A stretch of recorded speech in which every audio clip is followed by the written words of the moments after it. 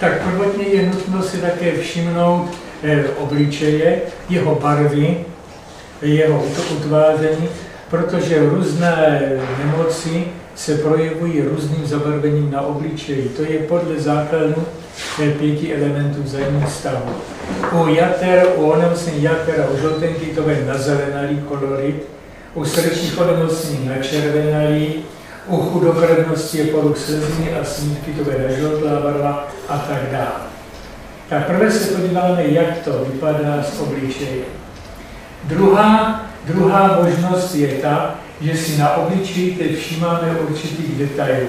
To je vrásek. Na čele vrásky by mohly svědčit o poruchu cévního prokrvení nebo střevních problémů, rýhy eh, kolem nosu směrem na čelo by mohly svědčit o jaterních či žlučníkových potížích a i na koření nosu by mohla ukazovat na slinívku, eventuálně na slezinu.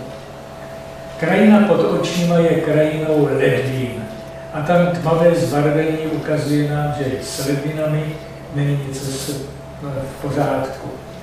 Na horním rtu, nad horním rtem je oblast eh, pohlavních orgánů a to je záležitost důležitá u žen. Starší ženy tuto část mají zpráskovanou, anebo tam mají chloupky, což eh, svědčí o tom, že hormonální systém už není plně funkční. Rty ty ukazují na zažívací systém, zejména na žaludek a na tlusté střed. Podíváme se dále, můžeme se podívat na ruce.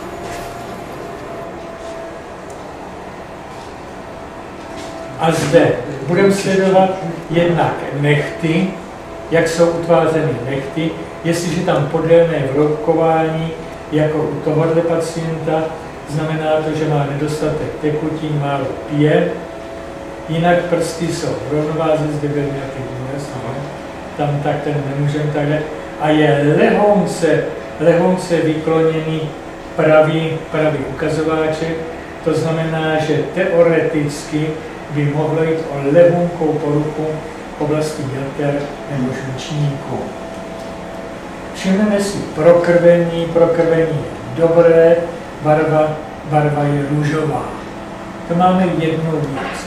Ty, jak jsou utvářeny nechty, jestliže tam podélné vroubkování, jako u tohohle pacienta, znamená to, že má nedostatek tekutin, málo pije, jinak prsty jsou rovnováze, zde byl nějaký důraz, ne? tam tak ten nemůžeme takhle, a je lehonce, lehonce vykloněný pravý, pravý ukazováček, to znamená, že teoreticky by mohlo jít o lehonkou poruchu v oblasti jater nebo žlučníku. Všimneme si prokrvení, prokrvení je dobré, barva, barva je růžová. To máme jednu věc. Další důležitou diagnostickou pomůckou pro tradiční českou medicínu byly oči. Podíváme se, podíváme se na oči, na oči a na očích se zase zobrazuje všech pět hlavních čínských orgánů. Zde dochází k lehkému prokrvení spojívek ve vnitřním koutku, to znamená, že by tam mohl být krevní tlak nebo srdeční nějaká záležitost. Důležitou diagnostickou metodou byla metoda z jazyka. Kdyby se laskali vyplázet na jazyku, ty na jazyku můžeme určit, který orgán tělesný je postižen, z čeho nebo čím je postižen a jak hluboce to postižení do toho orgánu sahá. U, zde vidíme, že špička je celkem červená, špička je hrudní orgány, srdce, srdce plíce. Tam znamená, že na srdíčku něco drobounenenkého by bylo.